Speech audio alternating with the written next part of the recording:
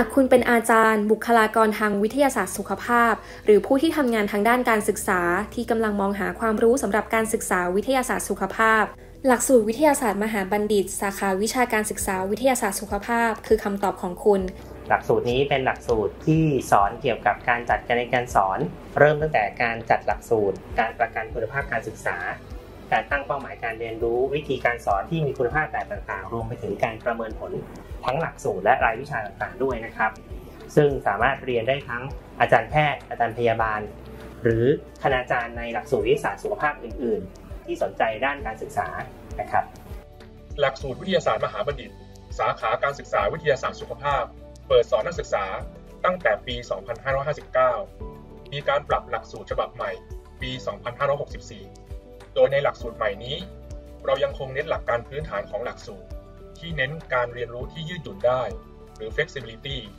การเรียนรู้บนความหลากหลาย หรือ diversity โดยมีการปรับเนื้อหา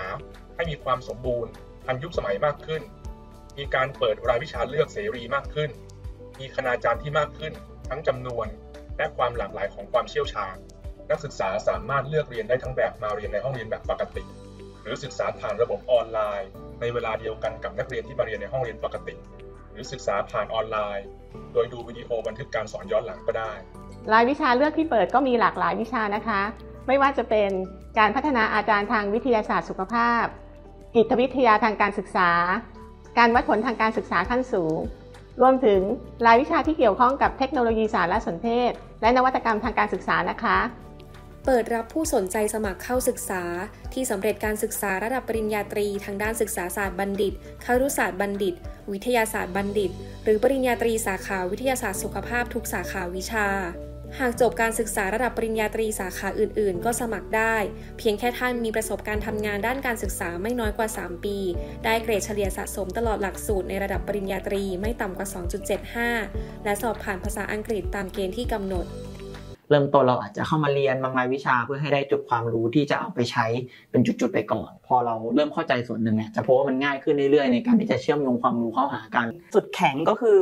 เป็นความหลากหลายนี่แหละค่ะทั้งอาจารย์นะคะ แล้วก็อาจจะมีนักวิชาการมาเรียนด้วย รวมถึงนักศึกษา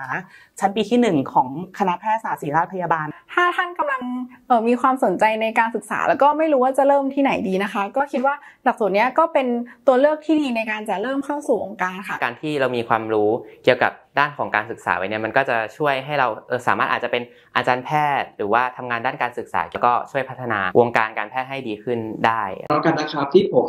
ได้จากหลักสูตร แล้วก็เอามาทำที่คณะแพทย์ขอนแก่นก็คือการปรับการเรียนการสอนในระดับปริคลินิก นอกเหนือจากเรื่องของความรู้ยังสอนในเรื่องของทัศนคติที่ดีในการเป็นครู ซึ่งตรงนี้ผมชอบมากแล้วก็อาจารย์หลายท่านก็ยังถือว่าเป็นโรโมเดลของผม